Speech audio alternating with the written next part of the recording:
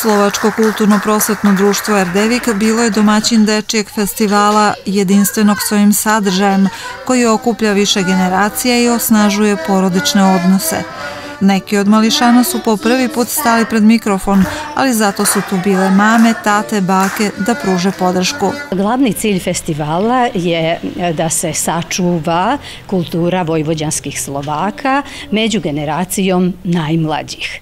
U stvari, porodica, porodično pevanje da, da se prenese na mlađu decu, pošto znamo da su specifične metode učenja kod najmlađe dece, Tako da je u stvari uh, uzor uh, porodica, najbliži u porodici, uh, počevši od roditelja, starih roditelja, najbližih, ono što je njima u porodici važno, čemu daju akcenat, da to prenesu na dete.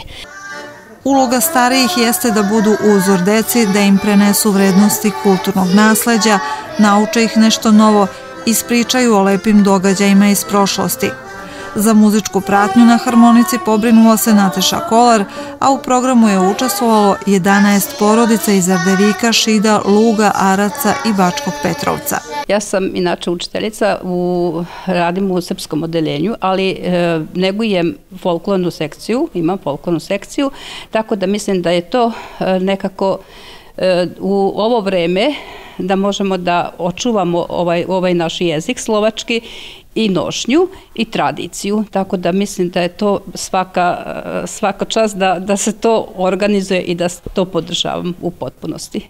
Ovaj događaj jedan je u nizu kojim se obeležava značajan jubilej dečijeg slovačkog folklornog ansambla Zvončići. Mi ove godine obeležavamo 30 godina rada i postojanja dečijeg folklornog ansambla Zvončeki na srpskom Zvončići. Zvončići zvone evo već punih 30 godina i ova akcija nam je prva u nizu obeležavanja.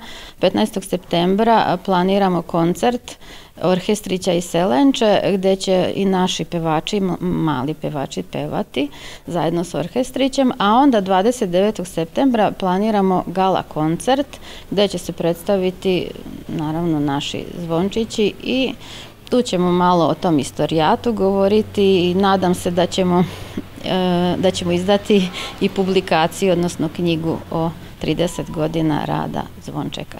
Nakon koncerta sledila je kreativna radionica gde su najmlađi učesnici festivala, uz pomoć starijih, izrađivali replike jednostavnijih muzičkih instrumenta. Pošto se bavimo istraživanjem kulturnih tradicija naših predaka, pa tako se orijentišemo da i prenosimo deci te iste stvari.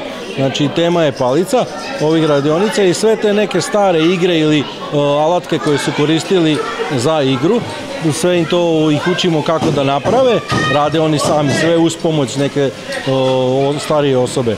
Imamo takozvani ozembuh, znači palica sa čepovima od piva, sa ekserima i onda se drže, drži ritam tokom pevanja palice kao štapići za udaraljke, imamo kišnu palicu, to je rolna e, sa zrnem, zrnevljem unutra koja proizvodi razne zvukove, imamo katapulce pravi od malih palica i tako razne tipove palice, običan štap i što je isto vrlo zanimljiva igračka, može svašta da se radi, da se preskače, da se vija, da se baca, tako da to su sve te neke starinske stvari koje danas deci pokazujemo šta može da se sa njima radi.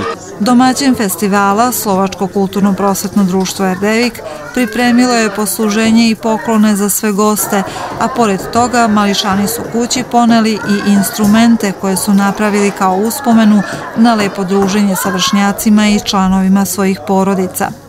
Organizatori događaja bili su Udruženje slovačkih vaspitača i prosvetnih radnika Vojvodine, Muzej vojvođanskih Slovaka, Kancelarija za Slovake u dijaspori i Slovački nacionalni savet.